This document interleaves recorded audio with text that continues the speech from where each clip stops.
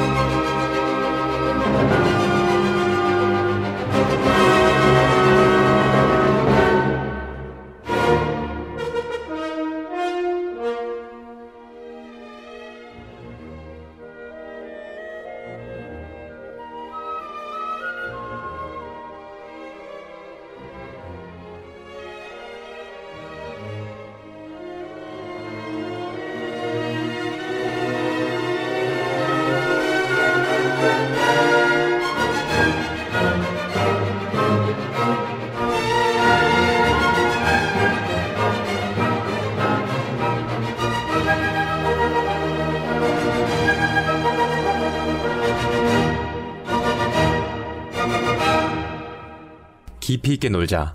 대담하게 하자. 자기답게 살자. 우리는 부자연스러운 것들을 자연스럽게 디자인합니다.